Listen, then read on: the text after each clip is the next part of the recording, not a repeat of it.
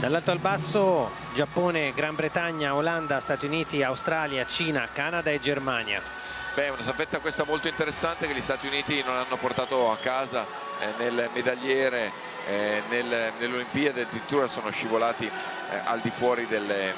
gioco delle medaglie dietro addirittura l'Italia eh, un eh, Gran Bretagna che invece è sempre stata al numero uno ma appunto è orfana dell'uomo che ha sempre fatto la differenza l'ha fatta nella rana ed è quello che spera di sfruttare la Cina oggi il strapotere della rana maschile per poter dare il vantaggio eh, definitivo. Mescolati tutti con uomo-donna a seconda delle forze in campo compito quindi molto difficile in alcune situazioni anche per il giro di onde.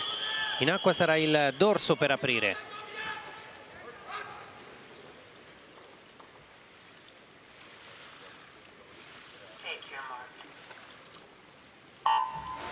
Ultimo ad arrampicarsi sul device Ryan Murphy in corsia numero 4 Stati Uniti e Cina che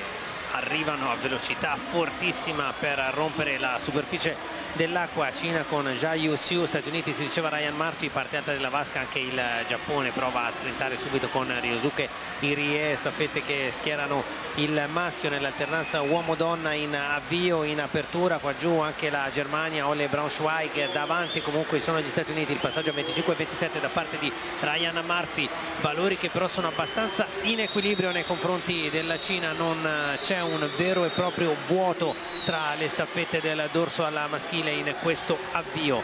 Cina e, e, Stati Uniti con gli Stati Uniti leggermente davanti più indietro invece il Giappone e la Germania. Si va al cambio via vediamo il il timbro con uno 0,15 di scarto per l'ingresso in acqua di Nick Fink e 52,02 il parziale. Beh, devo dire ha tirato fuori una vera prestazione da capitano eh, Murphy addirittura due decimi meglio del crono con cui ha vinto ieri la prova davanti a Ceccon eh, oggi ha sfruttato bene l'acqua ferma per scivolare via con forza condizionando anche l'Australia che non è riuscita ad andare meglio del 58,0 perdendo quindi sulla carta 5 decimi preziosi che andranno oltretutto ad aggiungersi a quanto Stable Cook perderà nei confronti sia di Keane sia di Fink che di Chin Stati Uniti con Nick Fink, Cina con Ayang Chin ed è proprio la Cina che effettua il sorpasso. Nick Fink di carattere, di rabbia cerca di non cedere troppo infatti dopo aver subito il sorpasso però sta cercando di rimanere e lo fa più o meno a contatto con il cinese in corsia numero 6 1.50 e 21 il parziale degli Stati Uniti 1.49 il parziale della Cina. Per la staffetta stelle strisce ora Torriaschi per la staffetta del dragone Yufei Zhang una frazione davvero notevole al 57-31 per il campione del mondo dei 100 rana un cambio della Husky eh, davvero sbagliato ha sbagliato la parabola di ingresso in tuffo questa è la frazione in cui in teoria sulla carta stando a quanto abbiamo visto in questi campionati la Cina eh, potrà allungare ancora e se gira con eh, 8 decimi, un secondo andarla a prendere è praticamente impossibile. Cina che in ultima frazione avrà Yu Jie Cheng per gli Stati Uniti invece in acqua entrerà Kate Douglas arriva all'Australia grandissima pardon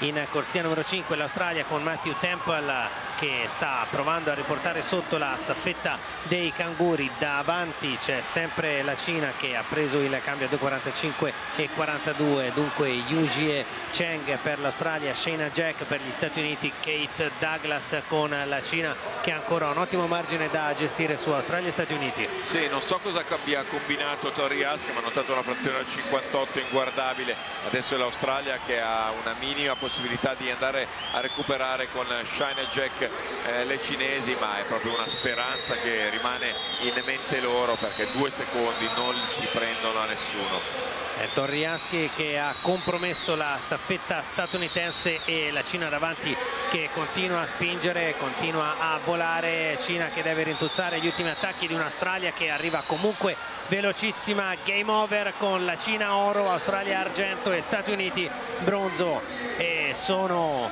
Jia Xiu, Yan Chin, Yufei Zhang e Yu Jie Chen che si accomodano, salgono sul gradino più alto del podio, medaglia d'oro l'ultima che viene assegnata in questa quarta giornata dei campionati del mondo nuoto tra le corsie. Beh, direi una vittoria, troveremo comunque gli Stati Uniti come punteggio generale in alto, probabilmente davanti alla Cina, eh, però Cina che in eh, questa edizione del Mondiale ha tirato fuori i nomi nuovi, le condizioni migliori delle vittorie a sorpresa, è una situazione generale eh, che è ben più florida rispetto agli Stati Uniti, sicuramente fino adesso eh,